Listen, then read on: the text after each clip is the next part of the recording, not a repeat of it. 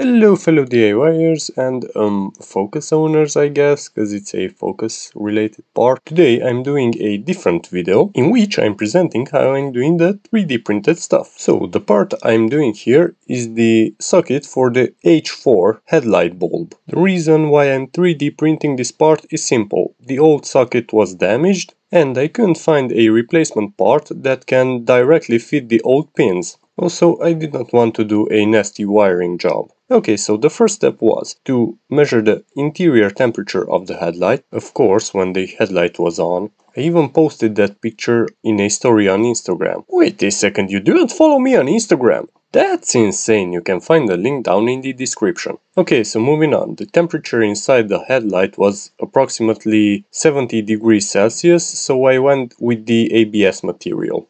Unfortunately, I had some big problems while printing, so that is why it came out so crooked, or in 3D printer language, warped. Yes, that's the black part.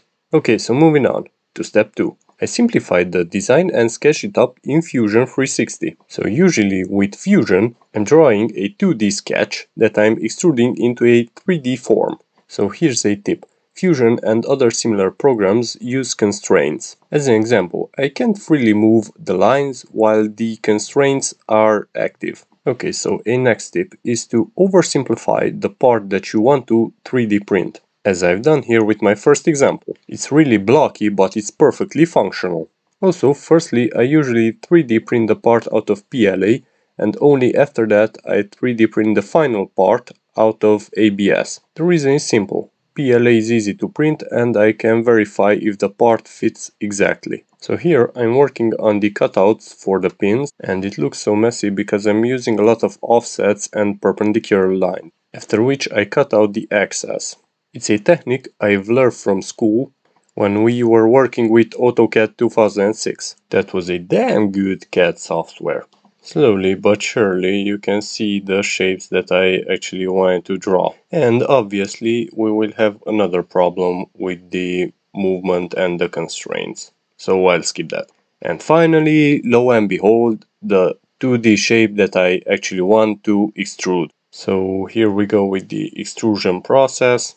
And now adding some important details like the tabs that don't let the pins fall out. And in the meantime, I observed that I've made a small mistake. Some of these small rectangles need to be longer so that they will hold the pins in place. Now I will also need to add some other rectangles that I need to extrude so the pins have something that they can clip into. Also, if you have any suggestions, make sure to leave them down below in the comment section.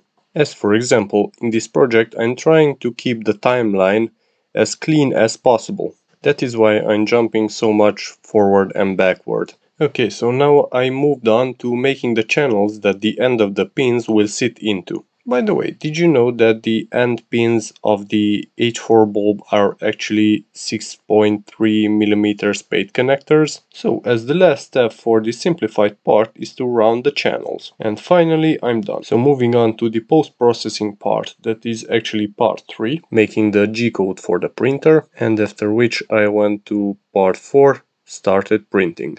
Now this usually takes the most time, I think for me it took like one hour and while the printer was doing its job I was watching some Netflix series. I guess this is the easiest part of them all cause the machine does the work. As for the printer I'm using it's a Prusa i3 Mark III in an enclosure. So now let's move on to step 5, trying out the part. In the meantime I've reprinted the part in ABS so if you see the black part that I'm inserting the pins into, now you know why I'm doing that. So this translucent part is the original one that I'm prying the pins out of and you can see the damage. So the first alternative is to replace it with this connector that I didn't want to opt for and the second one are the 3D printed parts that I'm showing right now on the screen. The grey parts are PLA and PETG that would not survive the high temperatures inside the headlight. I'm also showing that the top corners are cut off so that the part can fit better. Now I'm just bending the tabs on the pins so that they will lock in place once I inserted them in the part. Also, I was careful to place each pin where it needed to go. For example, the pin that goes on the left has the black wire. Unfortunately, because the part was made out of ABS that actually warped during the printing process, the pins didn't go in as smoothly as I would love to. That's why I had to convince them with a screwdriver. And now, in the end, I'm test fitting the bulb. The good news is that it fits.